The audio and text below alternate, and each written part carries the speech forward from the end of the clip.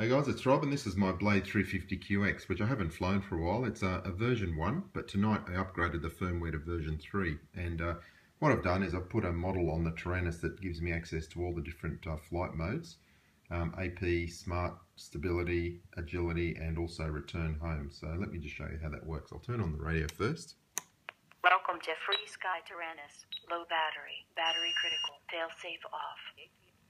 Now some of my uh, voice files for AP mode, smart mode, a bit stability and agility, they're not very good. I've just got temporary ones. I'll get better sounds eventually, but I've also got the mode displayed on the screen there. And uh, we activate um, AP mode, smart mode and stability mode with this switch here. Let me just cycle through those.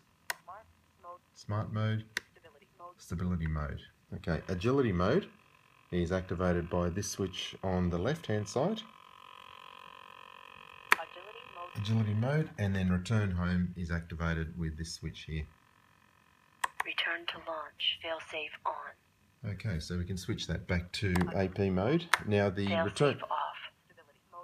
the return home switch and the agility mode switches, they take priority over this switch here. So it doesn't matter what mode you're in over here. You can flick agility anytime. And then RTH return home will uh, take precedence over everything. So let me just put it back to AP mode and we'll turn on the quad.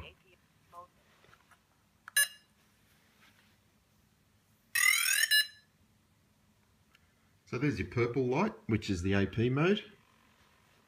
We'll change to smart mode, there's your green light. We'll change to stability mode, which is your blue light.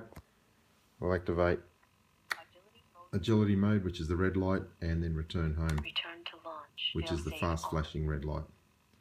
So there's all the modes on the uh, on the Fail-safe off. Thanks for watching.